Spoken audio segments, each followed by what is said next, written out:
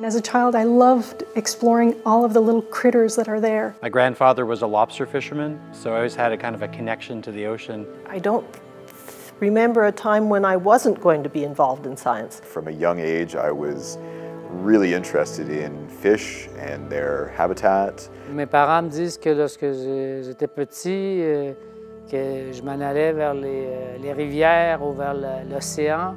Mes parents qui m'ont euh, qui m'ont incité à être curieux dans la vie. When I go out fishing with my dad, he'd often make me uh, gut the fish after uh, we would catch them, and I was very interested in what those fish were eating. Every kid is a scientist, and I just didn't grow out of it. And I had really good high school biology teachers. My grade seven teacher. Maybe Jacques Cousteau was the first person who kind of inspired me. When I was young, I watched the movie Jaws. J'ai commencé, j'avais peut-être 9 ou 10 ans.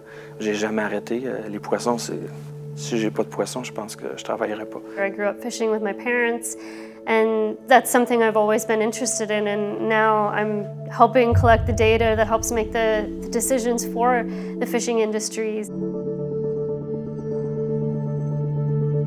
If I were to describe DFO science culture in one word, it would probably be principled. I would choose the word dynamic. Collaboration. Integrity. Dedicated. Expanding. C'est le renouveau. Collaborative. Collaborative. Collaborative. Integrative. I would say unique. Progressive. Service. La rigueur. Diverse. Dedication. Dedication to the job we're doing in spite of the difficulties in getting that job done. I think leadership in science is about enabling the people you work with. Il faut être à l'écoute de ces, de ces espèces d'intuitions du chercheur. Un chercheur qui est solide, là, qui, qui dans son domaine, possède ce, cette espèce de sixième sens de ce qui est important, vers où on doit aller. Um, I find that when you work in collaboration with, with others, you get new perspectives on, on problems and uh, issues and can often find new, collectively new ways of tackling them. C'est un milieu euh, collaboratif, euh, donc ça nous permet d'avoir euh, des échanges et des partages de connaissances. The kind of work that I do is absolutely team science. You get to know a lot of people here, you work with a lot of different sections, and it's all about collaboration. Je suis fière de savoir que je viens d'ailleurs, mais que je peux intégrer dans un groupe de recherche si intéressant. Ça permet vraiment de, de faire des projets intéressants puis de faire avancer la science. Donc, d'une part, on, on passe beaucoup de temps devant notre ordinateur à analyser des données, des résultats, mais l'aspect le plus intéressant, le plus cool de mon travail, c'est tout le temps quand je peux être sur le terrain à observer l'écosystème.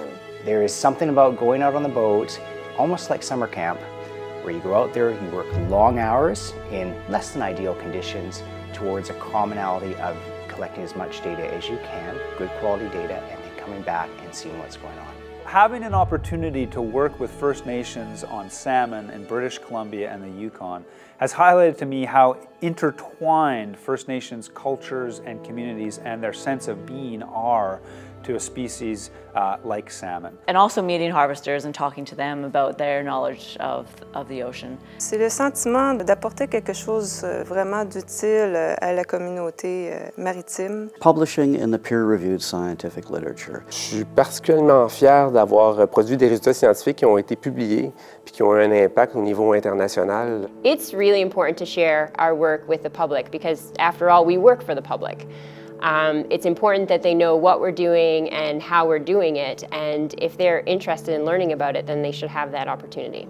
The culture that I, in which I work is, is not only collaborative, but it's also very conducive to, to learning, to continuous learning of different uh, aspects of marine science. You have people who are supporting you and um, create a team environment where it gives you the strength to step outside your comfort zone. I don't think I could step outside my comfort zone if I didn't have the support that I've had over the years within the different programs that I've worked in. So it's really all about being open to new ideas and always open to the fact that the way in which you think the world might work actually doesn't work. But those moments where you think you've actually figured something out are the absolute best parts. I think one of the the most exciting parts of my job is knowing that I'm uh, contributing to scientific knowledge.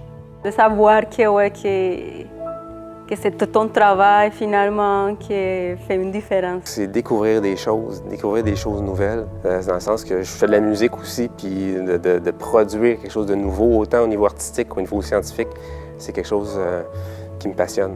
The most powerful thing for me is to be able to discover things that have never been known before by humans. That's just a, an incredibly uh, exhilarating feeling to have uh, contributed in some small way. It's a really exciting time to be working at DFO.